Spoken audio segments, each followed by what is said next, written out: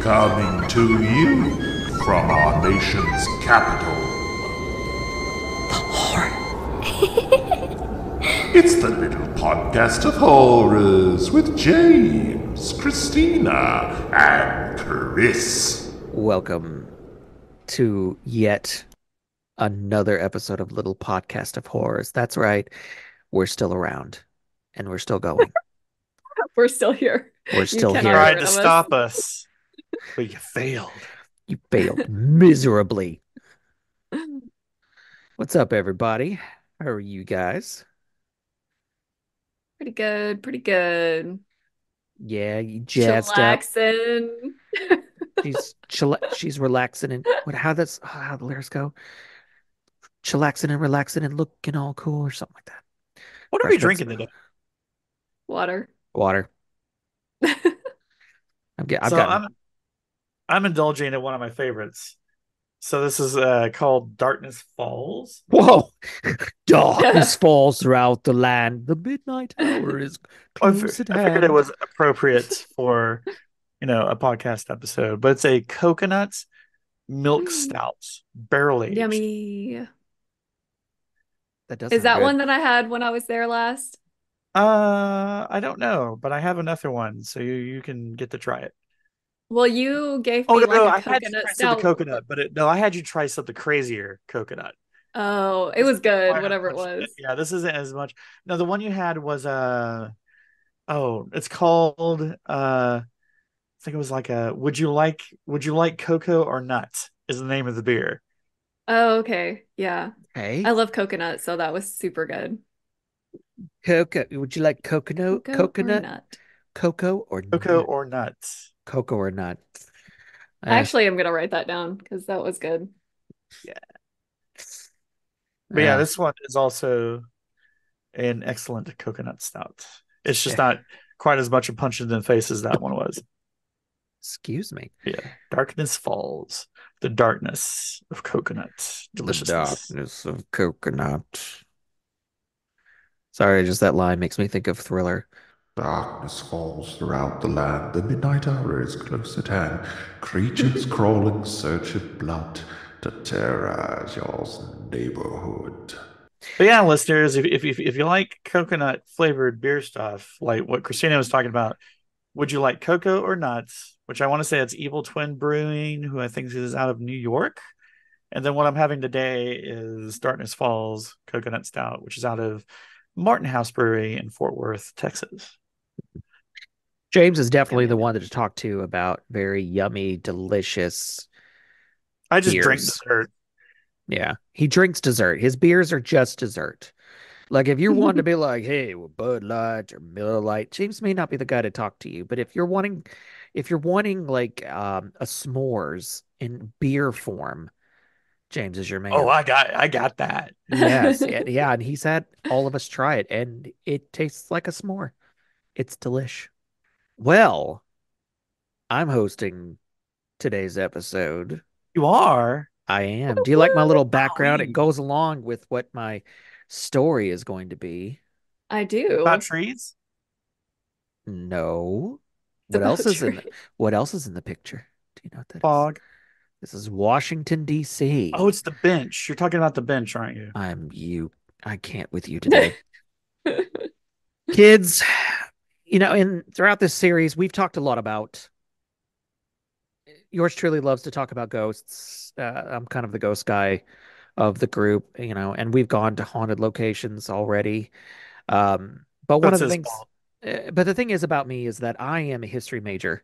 I was a history major in college. I I was I graduated with a degree in history, so I love it. It's something I enjoy along with ghosts. So when I can find a way to combine history and the paranormal, I do that. And last season, uh, early on, we talked about the LaLaurie Mansion, I remember, in New Orleans, a town that is rife with ghosts. So it should be no surprise to anybody that our nation's capital is also rife with ghost stories. Haunted AF. Haunted AF. And I mean, that's not that shouldn't really Haunted surprise. AFDC. Yeah, it shouldn't surprise anybody either. I mean, DC is it's it's it. I have wanted to go to Washington DC most of my life. I mean, if you love history, this is the place to be. And the thing about ghosts are often connected to historical things of historical significance. I mean, like we've talked about Amelia Earhart. Her her plane is there in the Smithsonian. Um, you know, you've got the White House, we've got the Washington Monument, you've got the Capitol building. And while I was researching for this story, I had to narrow it down to just three locations. I could probably spend several episodes talking about all of the haunted locations in Washington, D.C. You've got Ford's Theater, where Abraham Lincoln was assassinated. People have reported seeing his ghost there, and John Wilkes Booth's specter running across the stage, almost like they're replaying that night. Um, you've got the Capitol building, where there is supposedly a demon cat that appears right before Ooh. cala right before Okay. calamities. Yeah. So, are you going to do a Washington, D.C. series? Yes, I am. So I think I'm planning to do for future episodes, I'm gonna be doing a a, a series on DC, um, which is actually gonna go into my more further, my more larger scale project of doing haunted cities in general. Um, So, be- oh, Are go ahead. just bougie? Because it's like, you know, if you've got a big historical place like DC or some European castle or whatever, you're getting ghosts. You're definitely getting some ghosts. Crescent Hotel, Stanley Hotel, Big Bougie Hotel, you're getting ghosts. But not it's much far less often that just some rando's house gets haunted. Because like they don't care about most of them. I guess there's some lower class ghosts that go for the house for Joe Bo's house. But most of them they're going for the big big historical houses, the big mansions, DC. Like they're they're high rolling ghosts. Well, the thing is, with a lot of these places, I mean, like, even with with the research of all these these places, like they're always seeped in tragedy, you know, a lot of them on location deaths. I mean, like well, I was gonna say, like one of them that I I'll just touch on briefly, but I may go into more in a future episode is like the Decatur house. It's supposed to be um haunted by Commodore John Decatur, who died in a duel prematurely. You know, you have the Surratt house. Um, Mary Surratt was the first female hung for uh, by the United States uh, because she was uh, implicated in the assassination of Abraham Lincoln. And her ghost is seen in the Surratt house because she ran a boarding house. And she's also seen in, in another uh, several other structures. That's the other thing too is some of these ghosts don't just haunt one place that we're going to talk about. Some Oh, of they're them mobile. haunt, huh? They're mobile. They're mobile. Mhm. Oh yeah. Oh, just wait. So Well, that's good. You don't want to be trapped in one spot, right? Right? that's right. So and some of these people are not. They're ghosts, man. They I hope they riding around in like a, a scary ghost chariot pulled by ghost horses with red eyes. But you don't know ghost rules. You don't know how they traverse a, lo- a, a large geographical area. I don't know, man. How they get from point A to point B. I don't know. But the neat thing is too is that amongst these ghost stories is real history, you know, and that's what I really enjoy too. Whether you believe in the ghosts or you don't, they are seeped in actual real history. And tragic as some of the stories are, they're still fascinating to read about. They're interesting to learn because they're part of our nation's history. So, with that said, we're going to jump into the first location, which is known as the Woodrow Wilson House. So, for anybody who Who may lived not there? know, take a wild guess. Abraham Lincoln. Abraham Lincoln. No. Woodrow Wilson, who was the 28th president of the United States, serving as president from 1913 to 1921. I gotta know, I gotta admit too, when I was researching this, I've been very interested in presidential history. Like I can name all the presidents, but I can't say that I know a lot about a lot of the presidents. I mean, we know the big ones like George Washington, John Adams, Abraham Lincoln, but like Garfield. Garfield, who was And- assassinated in a train station. Oh, really? Oh yeah, yeah. President Garfield was assassinated. He was elected in 1880, and that's not even my notes. I just know that. He was elected in 1880. He was shot um, in a train station. I want to say 1881. Yeah. So I told you I like I like presidential history, but I you didn't... Oh, go ahead. Sorry, I I wonder a lot actually if because like there's the here right now perspective we're while we're alive and then the perspective of greater history. Like the presidents in our lifetime, you know, depending on what generation you are, but like for me, you know, Reagan, Bush, Bush, Clinton, etc. Like to me, each of those presidents was a big deal. But I wonder in a long march of history years later, how many of them are going to basically going to be a Garfield. Yeah. Or Franklin Pierce. Yeah, Franklin Pierce. Like though they're just like maybe Clinton was a big deal to us with Monica Lewinsky scandal and Iran Contra and all those juicy, juicy things that people have opinions on. But like 50 years from now, I'll be like, oh yeah, did, who? Did it be on the list that no remembers?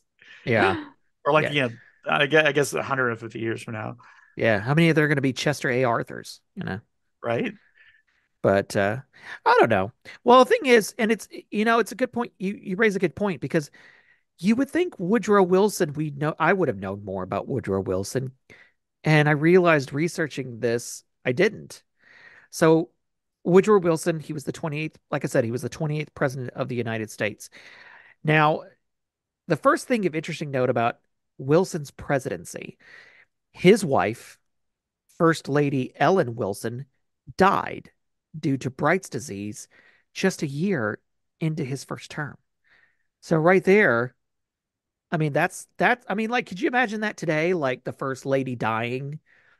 What's know? Bright's disease? It's a kidney disease. Um it's Oh, an infection okay. of the kidney basically. Um so yeah, right off the bat like that's great historical significance because I mean how many first ladies have died during office? I couldn't say, but No clue. Uh, First Lady Ellen Wilson was one of them. Um, and because of this, we had another first because he eventually remarried um, after meeting Edith Bolling Galt at a White House tea party. You also have a president getting married while president. So that's kind of a big Yeah, that doesn't too. happen. That doesn't Yeah. happen. You don't see the president getting married like that ever happened. yeah. Oh, it's happened a, a couple of times. I know that uh I want to say Grover Cleveland also married. Once again, I'm pulling from memory. And listeners, uh you can correct me. I'll probably look it up later, but I believe Grover Cleveland married and the wedding was actually at the White House. So Yeah, I guess I just always subconsciously assumed there was an unspoken rule that you had to be married to be president. Oh, no. In fact, another fun tidbit the reason we have the term First Lady, the first time it was ever used, wasn't even for the president's wife. James Buchanan, who was the 15th president of the United States, who was not married, and many people believed he may it may be because he was actually gay. Um, his niece did all the roles of the president's wife during that time, and she was the first one to actually carry the title First Lady. Oh, So that's Uh, neat. Yeah. But uh but the other thing too that's kind of interesting about Woodrow Wilson's presidency, as I said, he was president from 1913 to 1921. So what was one of the biggest historical moments in the world that happened during that time? Guess Can't think of it. Wait, what'd you say? What year? between Sorry. 1913 and Oh. 1921. was a boring period. Think World about War One. World War One. Yes, he he James act- is like, I'm drawing a blank. I'm drawing a blank. Yeah, Woodrow Wilson, he presided, he was the president who, uh, while we were involved in the First World War. Um, tragically, Wilson actually suffered a stroke two years before his second term ended, and it actually rendered him paralyzed on his left side and only partial vision in his right eye. So, um, so he actually had paralysis of his face. So it kind of it disfigured him. It, it you know, tragically, which I didn't know that. I see Mm. right there off the bat. So after his second term ended, the couple actually moved into what would become known as the Wilson House, and it's actually located on Embassy Row in Washington. Um, Woodrow Wilson actually purchased it as a gift to his wife. Um, and Wilson actually died here in 1924. So he only got to enjoy it for about three years um, before he passed away. Um, and after the death of Mrs. Wilson, the house was opened as a museum in 1963. The house itself um, was actually built in 1916 by architect Waddy Butler Wood. Um, and the uh, and the first resident of the home was actually a Henry Parker Fairbanks. Um, he was actually an executive at the Bigelow Carpet Company. Uh, the home actually boasts a beautiful stately gardens, a marble entryway, and a library with over 8,000 books. And it's actually in this library where President Wilson would give his final national address. Um, he actually gave it in November of 1923, and then he passed away that February, just some months later. And I actually listened to the address. Go ahead. Are those original books still there? Yes, I'm going to get to that too. Oh my gosh, I want to see the books. Oh, so the home today, it's actually been preserved as it was during Wilson's time. It's like a time capsule. So when you go into this home, it's just like walking into the 1920s. Like they've preserved everything. Wilson, yeah, and it's like, yeah, all the books are there. It's beautiful. And like I said, this is he gave his last address um uh commemorating the anniversary of the end of World War One um from the library. You can actually listen to it online. I listened to it the other day while I was doing some research for when I was researching for this episode. So that's just to give you a little bit brief backstory on the house. Now the fun part. The reason we're all here, kids. The ghosts. Since its opening, staff and guests have reported a number of ghostly occurrences. You have everything fr- have anything from doors opening by themselves, lights flickering, disembodied voices.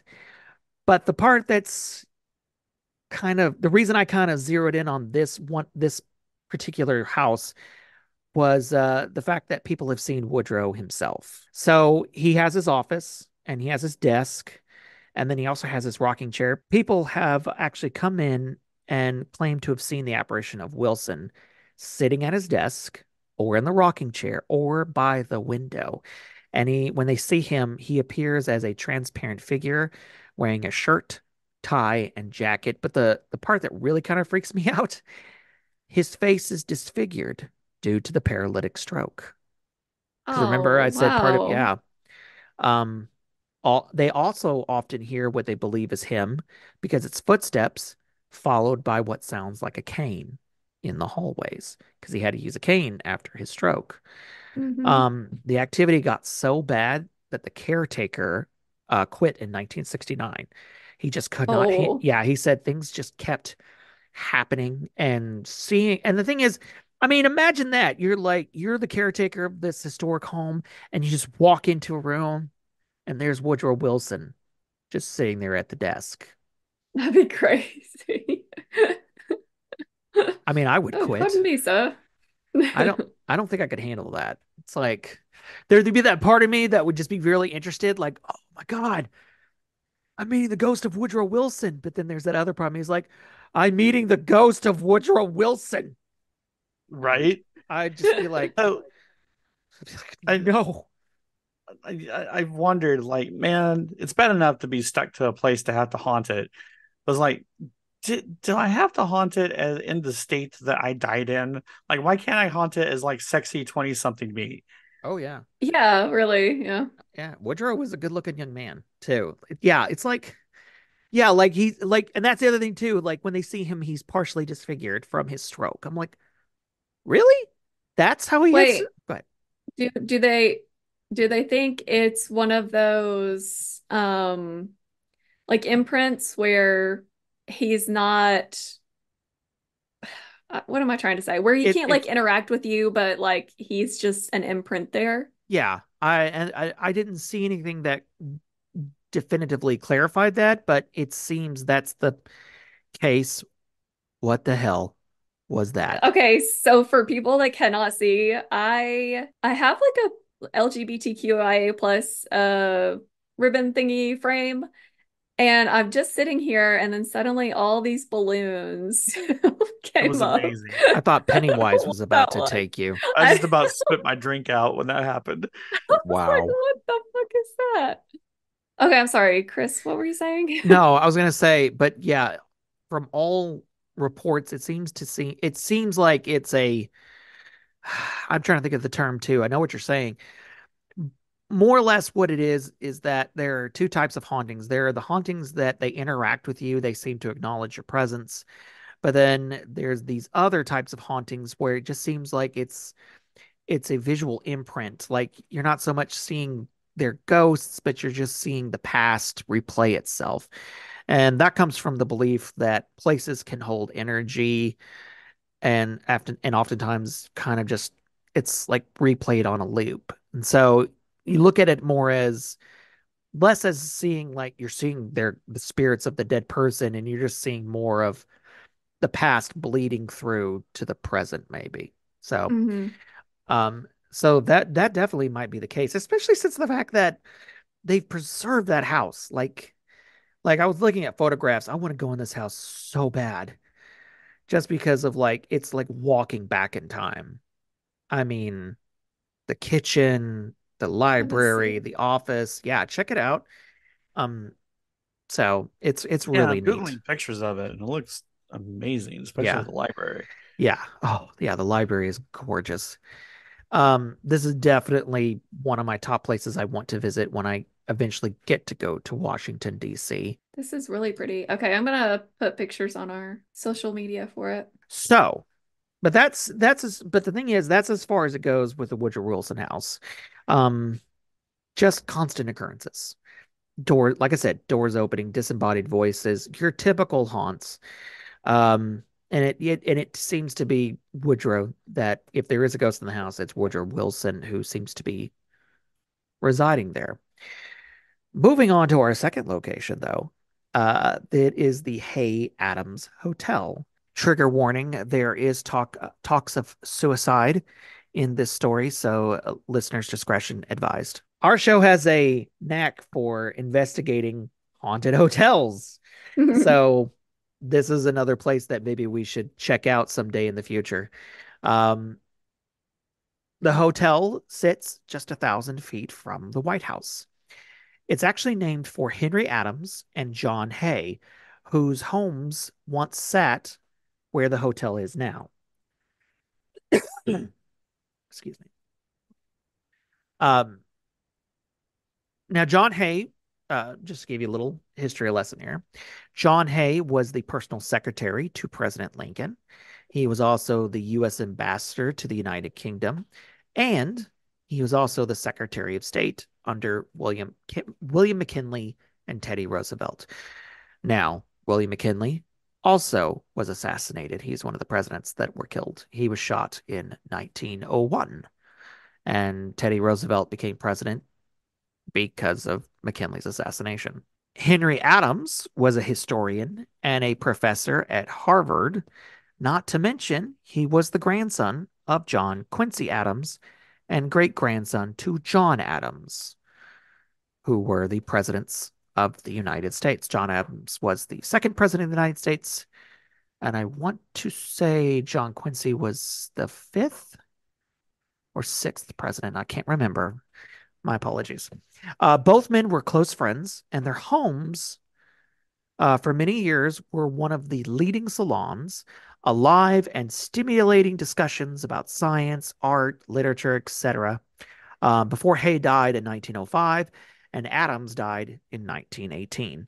Some of the prominent guests that came to visit their homes were Teddy Roosevelt and even Mark Twain.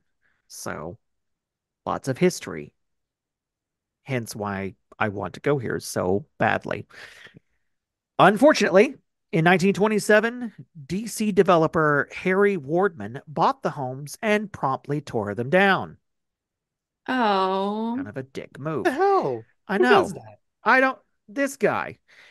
Um, and but then he built the Hay Adams House, which was a 138 room apartment hotel, and he opened it in 1928. But take a wild guess at what happened in 1929. Nothing at all. The stock market crash of 29. the great beginning of the Great Depression. Everybody lost their crypto. All their NFTs were worth All their nothing. NFTs. You are hurting me, right? So bad. Like now, it's oh, stop it. He doesn't mean this. He's he's he just knows he's just messing with me. Uh, Wardman eventually defaulted on the loan in 1932, and the building was sold at auction to the Washington Loan and Trust Company. Uh, hotel magnate Julius Manger purchased the building that year, and he decided to rename it the Manger Hay Adams Hotel because, of course, you got to slap your name on what you own. Got to. Lame. I know.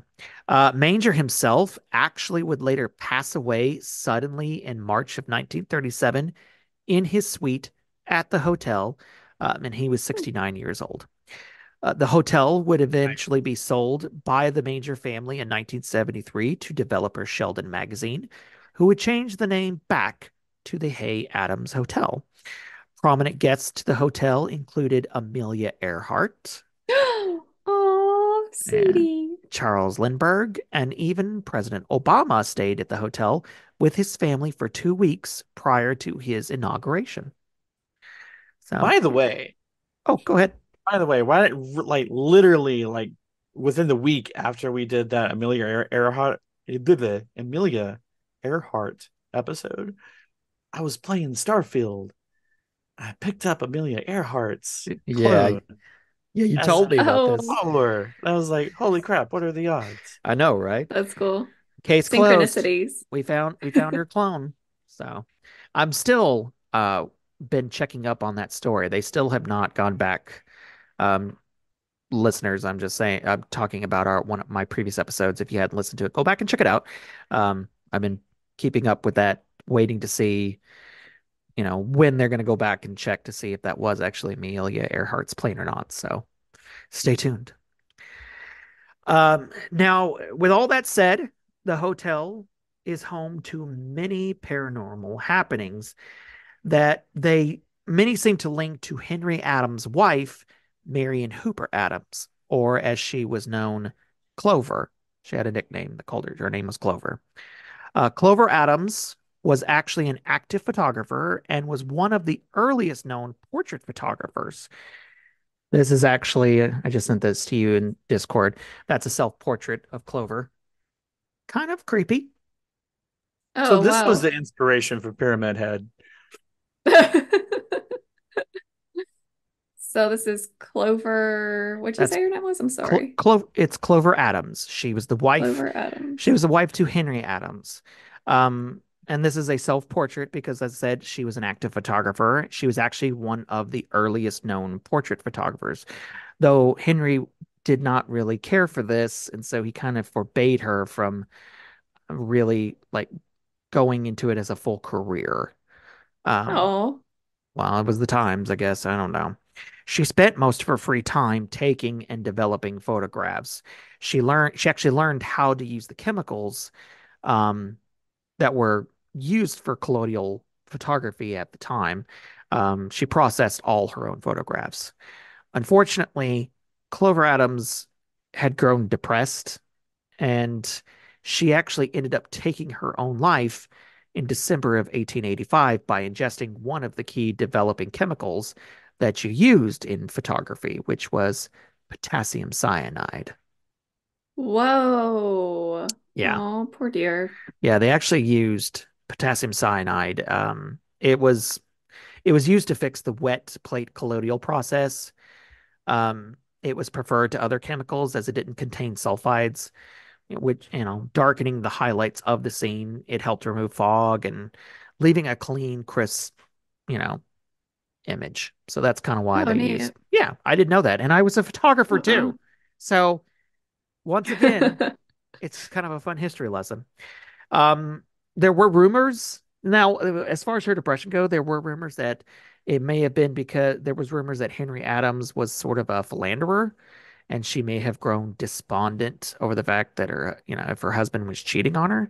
Um, but Wouldn't let her follow Not- her dreams and I was about to cheating on her. I mean, Yeah. come on now, man. I was about to say not that it wasn't enough that he was just like completely shooting her dreams out of the air since yeah, he had Um, authority.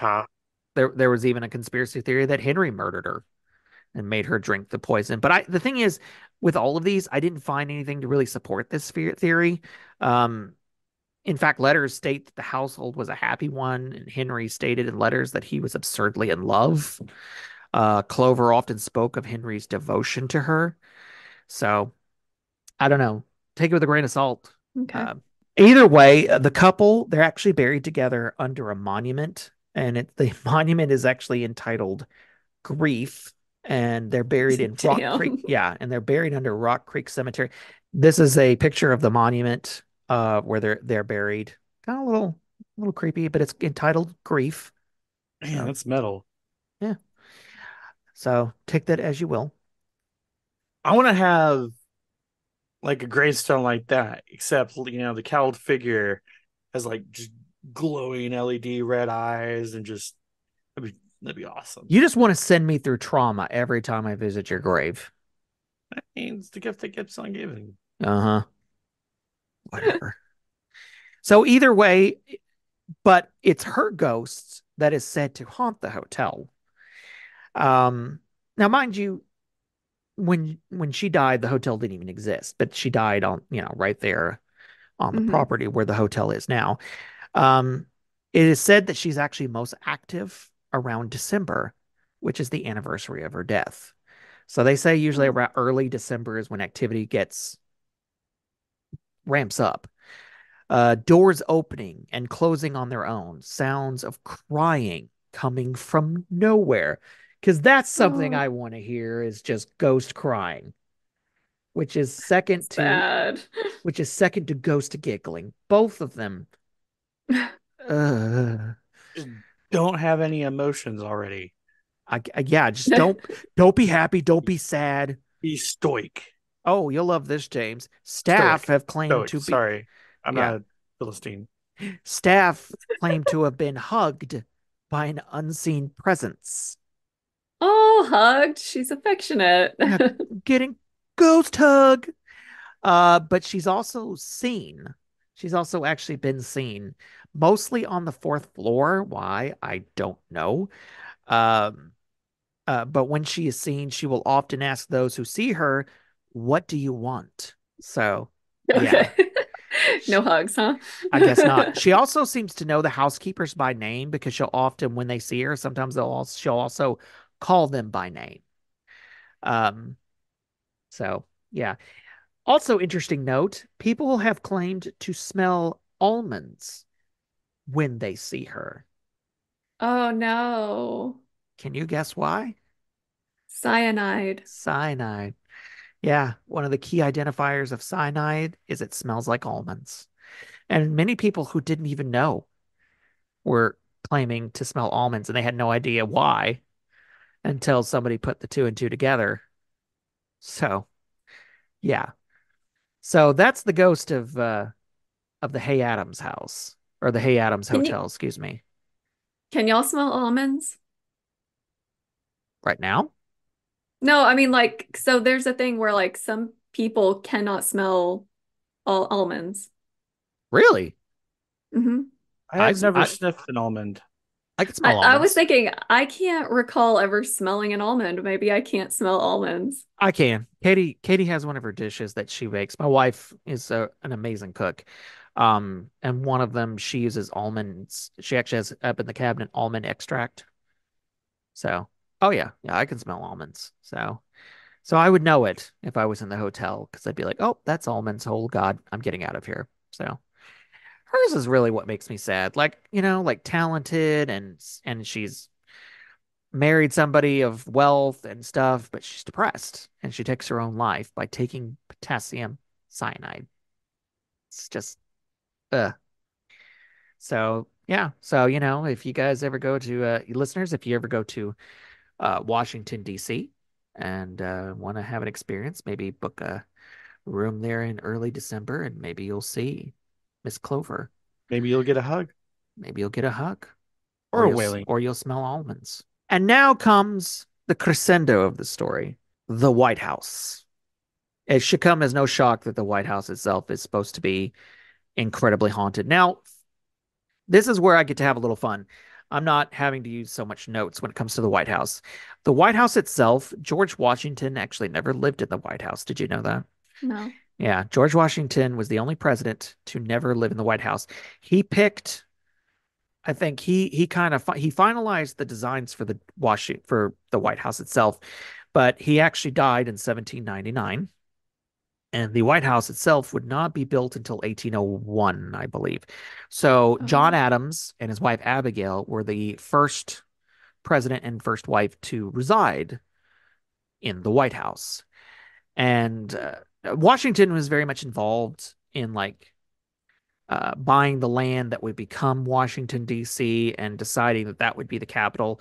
There were many talks uh, early on about making New York City the capital, and but he decided on he actually they created they bought the land and decided and they named it Washington after George Washington. So that is why we have Washington, D.C. The White House.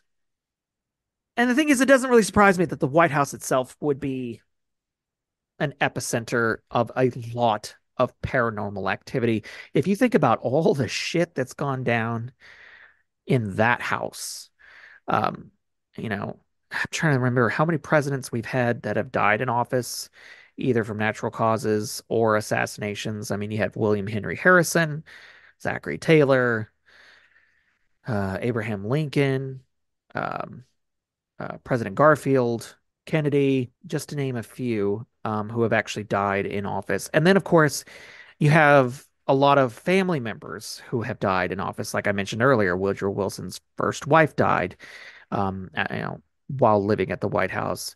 Abraham Lincoln lost his son, died at the White House.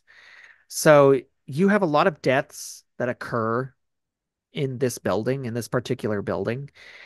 So, like I said, it's not really surprising the fact that this place is supposedly really haunted. But what's also neat about that is that many eyewitnesses aren't just your regular, you know, Joe off the street. Like you have Harry Oh, Truman, you have presidents talking about their Mhm. experiences. That's Like, cool. yeah, like one case is Harry Truman himself. Um, he was, oh yeah, there's a president before Harry Truman. Franklin Delano Roosevelt died while in office, and so Harry Truman became president because he was the vice president. He was sworn in.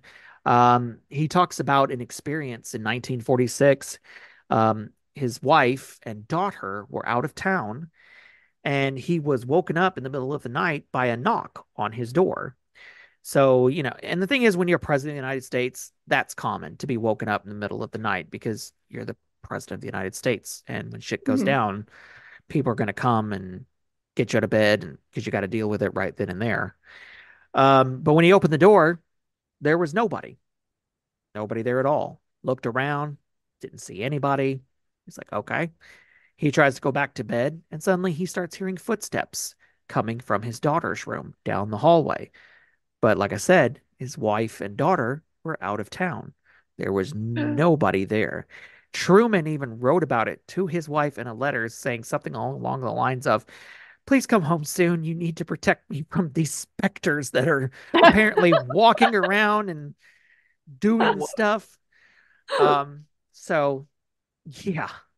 Uh, ooh, and then going back to uh, even before Truman, actually going back to Woodrow Wilson, um, during the Wilson administration, First Lady Edith Wilson actually attempted to have the Rose Garden um, that's there at the White House moved from a different location. Now, the reason we have the Rose Garden is thanks to First Lady Dolly Madison, James Madison's wife.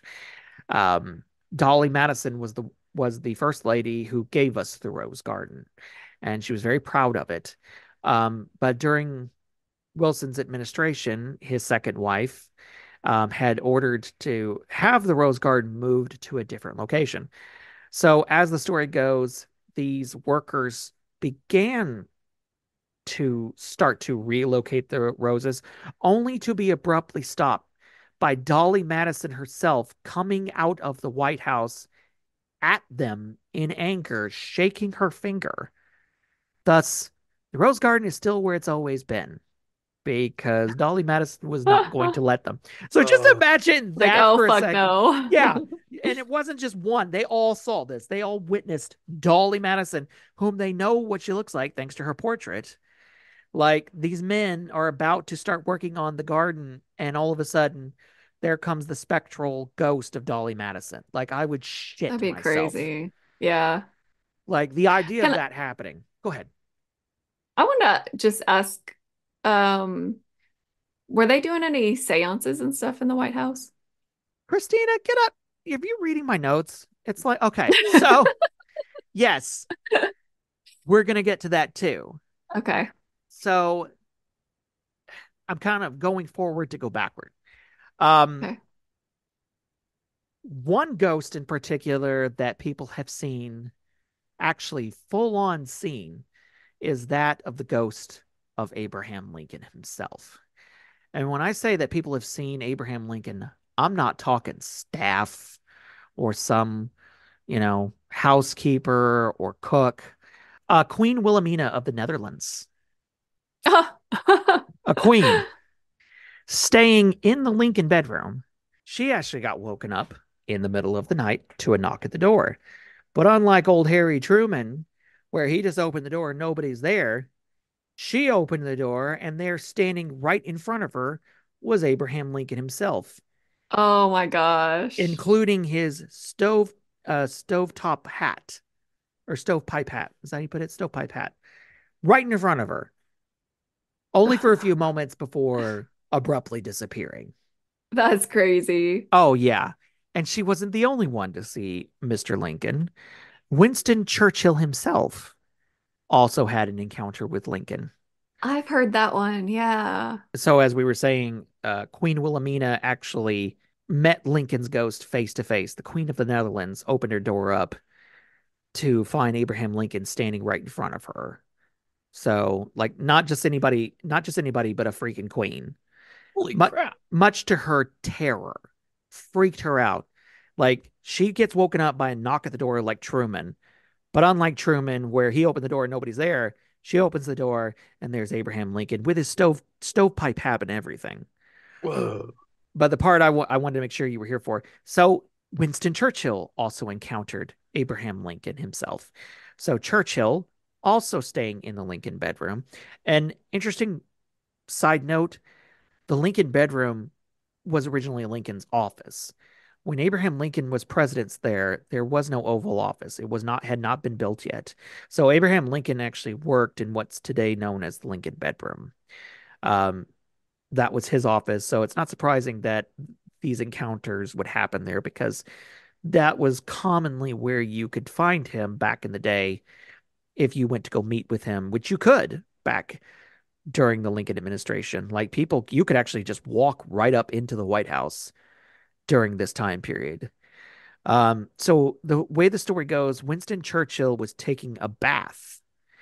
And after he had finished in true Churchill form, he's walking through the bedroom, butt ass naked. yeah. With a cigar or, or and or a whiskey in hand, right?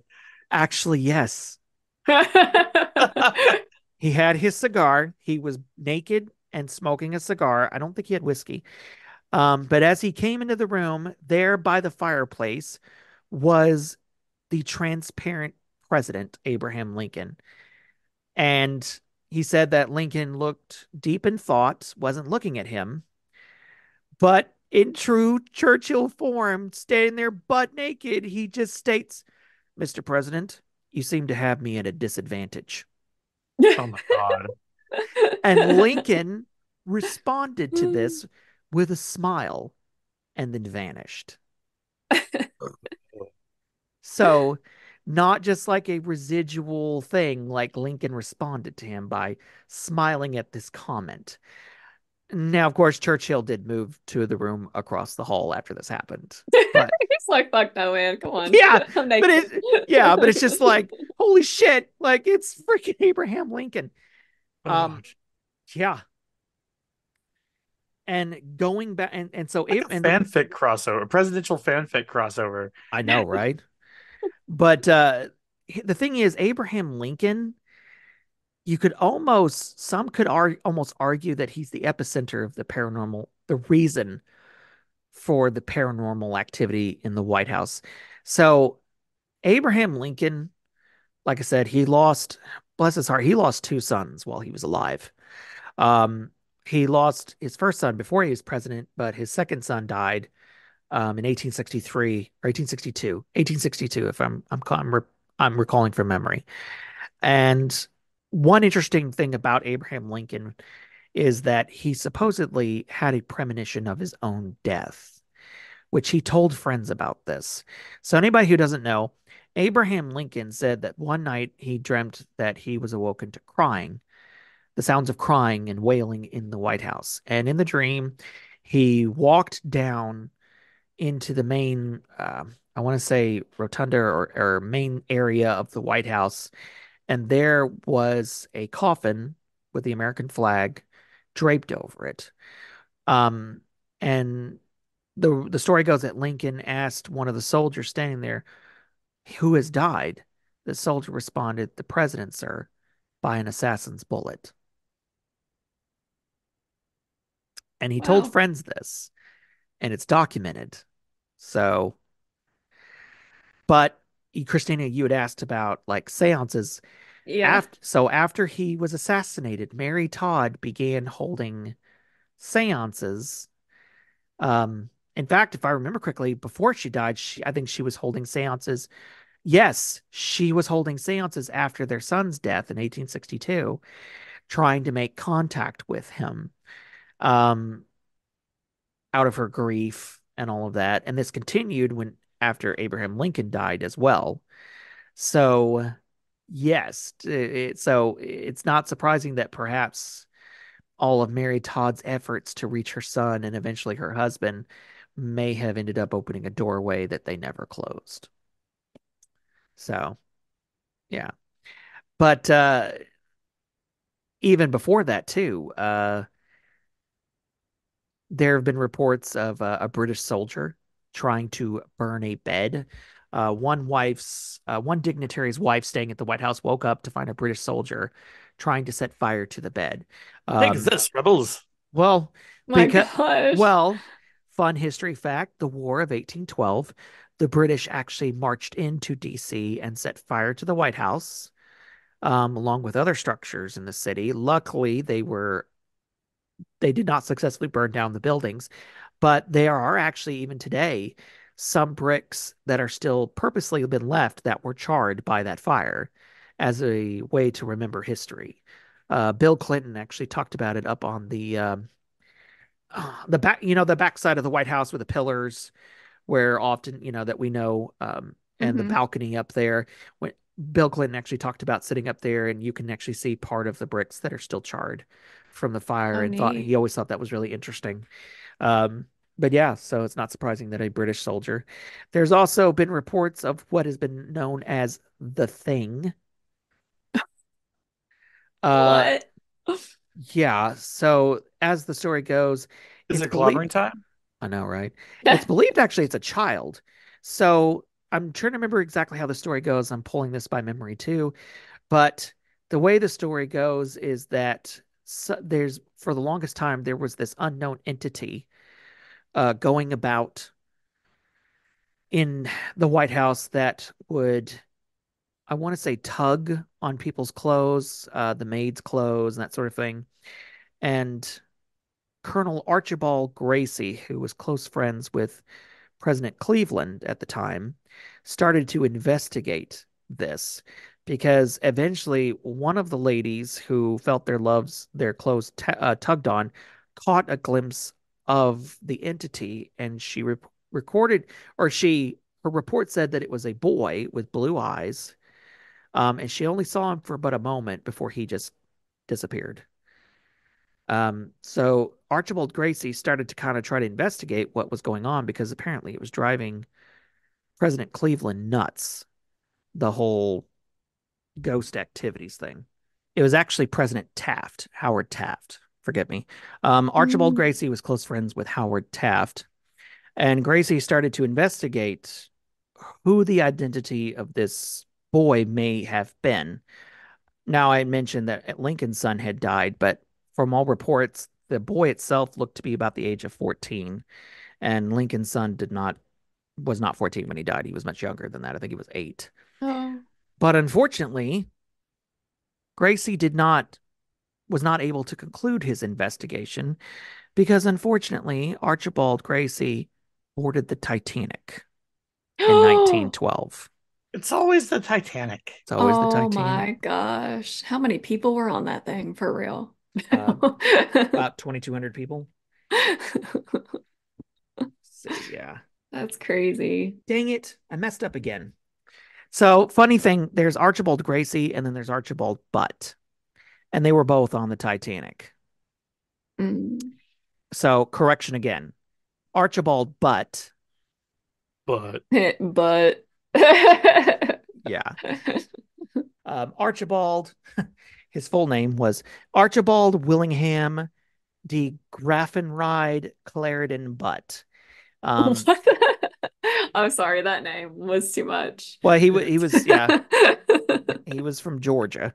Um, he was he was close friends with uh, uh, President Taft, and unfortunately, he went down with the Titanic. Oh man. Yeah. It's bad luck. So yeah, unfortunately, Archibald Butt was not able to finish his investigation, and I guess nobody ever continued that. So I guess you could say that whole situation ended ass up. wow,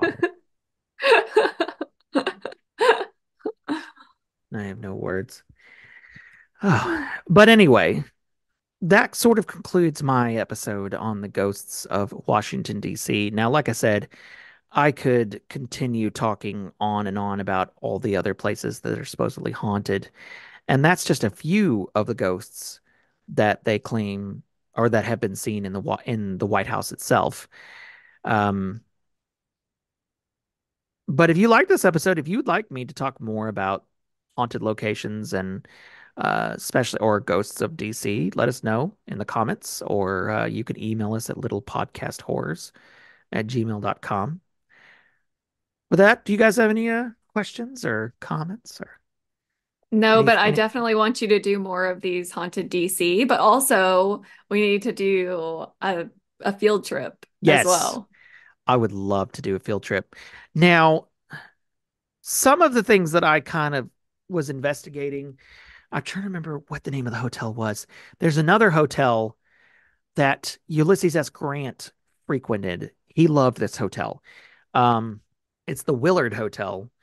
Um, and I remember this story as well. Ulysses S. Grant, like every day. And and this just just kind of shows you how different things were back then. So when Ulysses S. Grant would finish his presidential work for the day, because I guess back then it was just sort of like, well, five o'clock, I'm out. Uh, he he would actually just walk over to the Willard Hotel, which you couldn't even fathom a president doing that now, where it's No. like, you know, like Biden just like, well, I'm done for the day. I'm gonna stroll over to the Willard Hotel. Just like you- you're just like out and about and like, oh, there's the president of the United States just walking down the street. Uh, Ulysses S. Grant would just hang out at this hotel. And another fun fact, because he would always hang out in the lobby, oftentimes people would come to try to talk with Grant about things. Uh, try, you know, senators and representatives um, or actually people who worked for senators and and representatives, which is why we have the term lobbyists today, Oh, no way. Okay. because they would come to try to talk with Ulysses S. Grant while he sat there in the lobby. Now, not to ever disclaim anybody's claims of ghosts, but the story goes that people believe that Ulysses S. Grant may haunt the lobby because oftentimes people can still smell his cigars. Because if you remember, Ulysses Grant was renowned for smoking his big cigars. Now, the thing about that, though, is that walls absorb those smells. Mm. Um, Mhm. it's just it's just science. It's what happens. And during the summer, during extreme temperature changes, walls can secrete the smells they have absorbed. So it's really quite possible that when they're smelling Ulysses S. Grant's cigars, which I believe they are, it's not as ghost, it's just the walls secreting the years and years of absorbing his cigar smoke, Cigar smoke. which in itself is still cool because like you're Yeah. smelling Ulysses S. Grant's cigars. But Yeah, that's pretty cool. yeah. So there's lots of fun things about that. And the Willard Hotel is another place I would just love to visit just for historical reasons. So Mhm. yeah. But yeah, I would love to talk more about uh haunted locations, but more importantly, um haunted cities of real historical significance. And what, like I said, Washington, D.C., these were just a few of the places um, that I decided to talk about. There are many more stories throughout this historic town the Smithsonian, the Decatur House, um, the Octagon House. Um, which is also supposed to be haunted by Dolly Madison as well. So James was talking about earlier about ghosts kind of moving around. It's like, yeah, Mhm. because Dolly Madison's been seen at the Octagon House and she's been seen at the White House. So, Dang. so Yeah, do a another one for Uh, this. do another one I don't care what everybody else thinks. I'm requesting it, so that makes it important. What does everybody else think? Like, I don't care how many people think you're full of shit, Chris. You know what I mean. Yeah, James, any any comments or questions? Man, I got nothing. This is just all presidential. Presidential. Presidential. Yeah. Thank you for listening to Little Podcast of Horrors. If you like this episode, please like, subscribe, and share. Uh, got a true tale of the unexplained? Send us an email at littlepodcasthorrors at gmail.com or visit our website.